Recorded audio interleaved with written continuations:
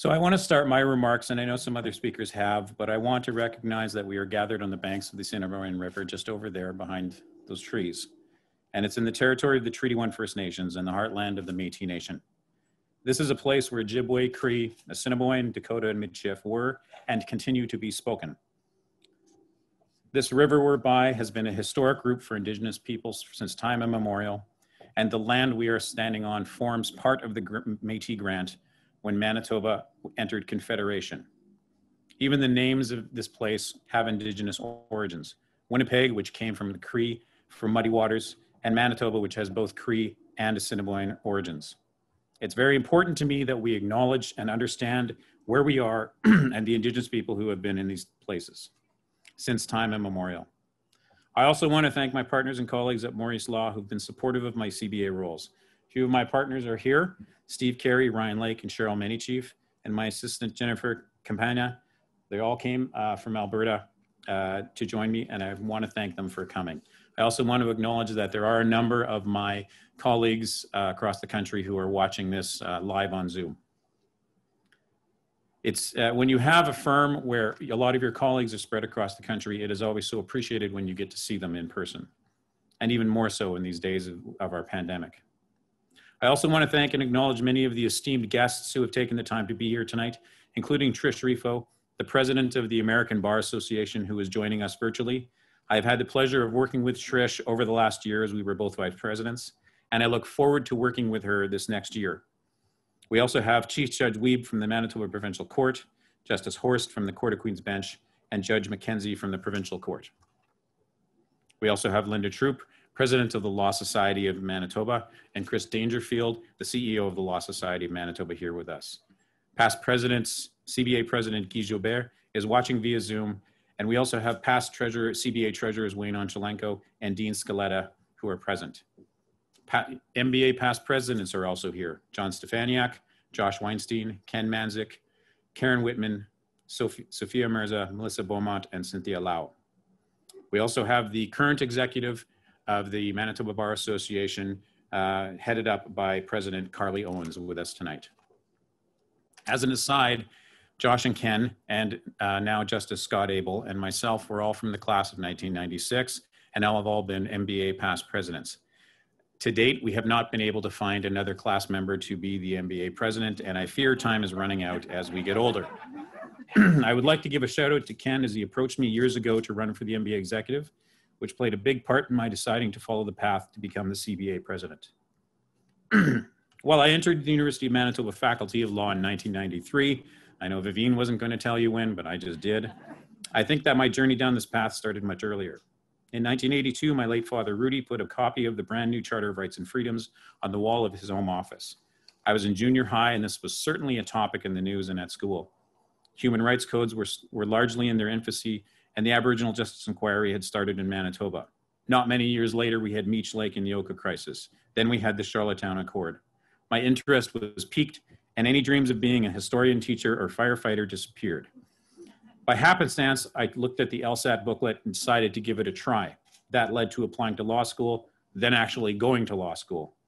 It is hard to believe that happened almost 30 years ago. Certainly, when I sat in the moot courtroom at the U of M in the fall of 1993, I never contemplated I would be president of the CBA. As Vivene said, I've been involved in the CBA since law school. I've been chair of both the provincial and national sections of the Aboriginal law sections. I've been on the executive of the former National Sections Council, and I served as Manitoba Bar Association president for two years in a row. I won't call the person out who caused that, but he is here tonight. The leadership opportunities made available for me in the CBA have been a blessing, and I'm honored to have been able to occupy these positions throughout the Canadian Bar Association. I've made friends and contacts from coast to coast to coast. I want to thank my many friends who are here tonight. I am very happy that so many of you could be here. I wish we could have invited more people, but the pandemic has put limits on what we can do.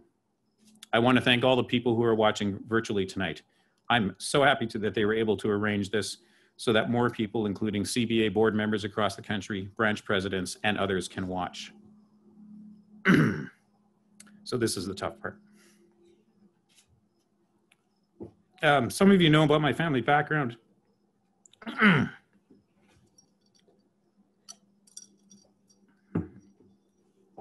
in that I was adopted and then later life met my biological family. I don't have a family tree, I have a family bush.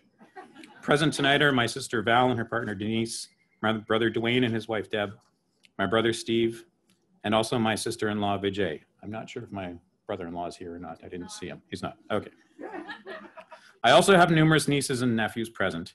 When I became Manitoba president five years ago, I told the crowd their nicknames, but I will spare them that embarrassment tonight because we are time limited. But that is the only reason I am sparing them. I want to give specific thanks to some of my family members. First, my in-laws, Sterny and Amelia Reddy. They're awesome people, even better grandparents, and have been very supportive of me. oh, this sucks. Um, is my golf pro, and Amelia spoils me with food, in particular Indian food with the South African influences, and I pity you if you have not been able to have that food. Next, my late biological mother, Yvonne Oldcraft. I wish she could be here today, and I, if I say much more, then I will turn into a blubbering mess. Um, what always amazed me is that in the time I was able to know her,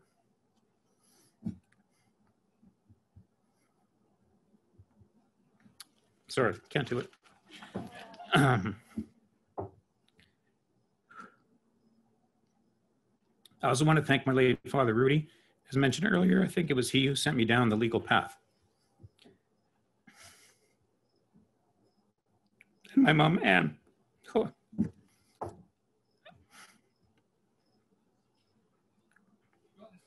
Oh, yeah. Thanks, Jonesy. uh, without her, I would not be where I am now. She's the best mom, wonderful mother-in-law, and an incredibly loving grandparent. And her gentle nature makes everyone feel safe.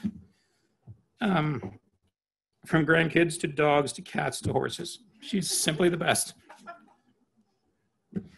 Um, there's also my sons, uh, Sage, who couldn't be here tonight, uh, Kieran, uh, my gigantic 15 year old, and Sanjay.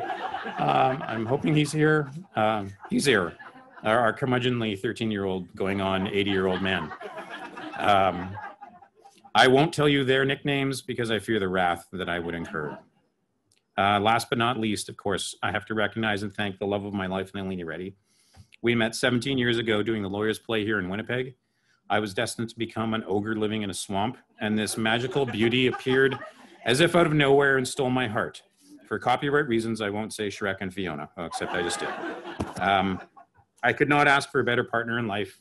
She's been so very supportive of all my forays in CBA leadership, and I value her counsel over all others. Um, some say you shouldn't be someone who is in the same profession as you, but I think it's been one of the best decisions I have ever made. And the reason I knew that she liked me is because I discovered in Nalini's culture of one, and she has her own unique culture, is that when she's romantically interested in someone uh, and you say something witty, she spits food on you. Uh, sorry, Annie.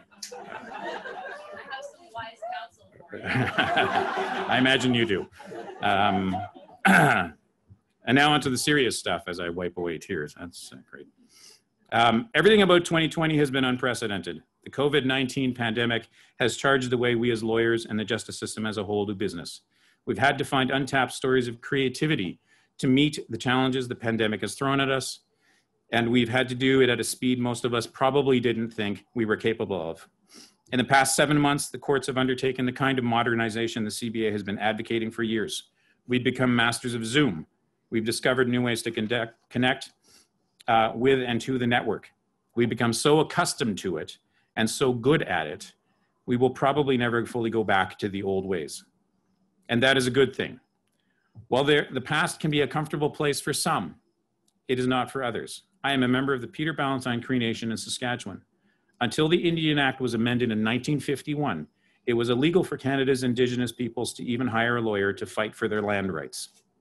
Nearly 50 years ago, in my lifetime, Indigenous students had to renounce their Indian status in order to go to university. That meant they could no longer live on the reserve, vote for the chief and council, or inherit property. Reconciliation is the vehicle that takes us from the past to the present. present.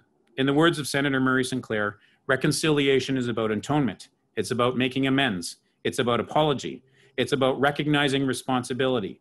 It's about accounting for what has gone on. But ultimately, it's about commitment to maintaining that mutually respectful relationship throughout, recognizing that even when you establish it, there will be challenges to it. A great year reckoning this year has come with the protests that follow the killings of Breonna Taylor and George Floyd in the US, which have raised the awareness of systemic racism that exists in our country as well, and even within our profession. I need only think of Eishia Hudson or Chantel Moore here in Canada, which, along with numerous other incidents, have shown we have a major problem. And I'm very sick and tired of seeing young Indigenous people being killed by police. I'm sick of it. Over the last week, Over the last week, I have spoken about the problems which Indigenous peoples in Canada have with the justice system, and I intend to continue to speak about this while I'm president. This may lead to uncomfortable conversations and truths, but I remain steadfast that I will have these conversations. Without these issues being addressed, reconciliation will be very difficult. It will be an important issue for me this year. My podcast, Conversations with the President, will explore issues raised by the Truth and Reconciliation Commission's calls to action with respect to the legal community. I am proud of the work that the CBA's Truth and Reconciliation Initiative has done so far, and I'm looking forward to working with them on future projects. A major issue that we've had to come to terms with this year, of course, is the pandemic. COVID 19 has disrupted entire economies. It has forced people to revisit or scrap business plans and life plans. We revise them and rework them in the hope that there will still be an opportunity on the other side of this pandemic. We found opportunities inside the pandemic, little silver linings inside a dark cloud. The CBA needed to cut spending in order to balance the budget this year. Online meetings and conferences meant we saved a lot of money on travel and hotels. It's not the same as being in person, but it nonetheless provides a measure of convenience to our members who can now attend a conference and still have dinner with their families. All of this pivoting and revising and reconciling ourselves to the COVID reality can be stressful. Some have described it as a hum of anxiety in the background that is sometimes louder, sometimes softer, but never goes away entirely. That kind of hum can sometimes get in the way of a positive outlook, can keep us from finding ways to turn challenges into opportunities. I believe that in this atmosphere, the CBA and the services it offers are more important than ever. Our networks may now be virtual, but they remain vital and active, which is particularly important for young lawyers who need that support as they embark on their careers. Volunteers and sections have been brimming over with ideas for webinars and activities to provide support and information to our members. Our committee and advocacy work continues. Our COVID-19 task force will soon begin working on a report and recommendations for the modernization of the justice system, which is also the CBA board's advocacy priority for the year. Our equality subcommittee is working on gathering and creating resources responding to equality issues. CBA staff and branches and in the national office have worked hard to ensure we provide members with the information and resources they need. Our wellness programs are in place to help lawyers and their families when the hum of anxiety becomes overwhelming. I thank you all, volunteers, members, and staff, for your commitment in very difficult circumstances. I would also like to recognize my fellow members of the CBA Board of Directors. Unfortunately, they are not able to attend in person. I look forward to working with you all in the coming year. First, I'd like to recognize CBA Vice President Stephen Rothstein of Ontario. Stephen and I worked together under the old CBA board model, and I'm very happy to work with him again. We've been able to get to know each other over the last number of years, and I am happy to be able to call him my friend. Our returning board members, Steeves Bujold from Quebec. Steeves will be chairing our policy committee. Chandra Flett from Alberta. Susan Gover of Newfoundland and Labrador. Susan will be chairing our audit committee. Bonnie Redekop of Saskatchewan, and Mark Nuro of Nunavut. We also have a series of incoming board new incoming board members. Eden Alexander from Yukon, David O'Brien QC of New Brunswick, Jonathan Cody QC of Prince Edward Island, Brittany Scott of Northwest Territories, Susan Johnson from Nova Scotia, Melanie Mortensen of British Columbia, and then of course, last but not least, John Stefaniak from Manitoba. John, thank you for emceeing this evening. John is the chair of our finance committee. After allowing an Albertan and an Ontarian each one year to hold the position, I am happy to announce that the purse strings are firmly back in the hands of a Manitoban, as they always should be. To all branch presidents, section chairs, and CBA national and branch staff, I'm looking forward to working virtually with you all and in person if possible in the new year. 2020 isn't the year many of us expected, but that doesn't mean it doesn't have to give, have something valuable to give us. I want to acknowledge the CBA interim CEO, Steve Pengelly. When our previous CEO gave her notice several months ago, my stress level began to increase. It would require a search for a new CEO as one of the main tasks for me as the new president. Steve's name was one of the first ones that I considered. I had known Steve from when I was a Manitoba president and he was working at the Ontario Bar Association as executive director. I also had been working with him on the Governance and Equality Board. I always liked Steve and his cool, calm, collected demeanor, and I was aware of his past work in the Ontario provincial government. While he had retired from the OBA and was working his own private practice gig, including having his dog regularly walk in on Zoom calls, he took my call and I asked this massive favor. It didn't take long for him to agree. And in fact, his first words to me was, when the incoming president asks, you have to say yes. His wise counsel has been something of great value to me, and I thank him for that.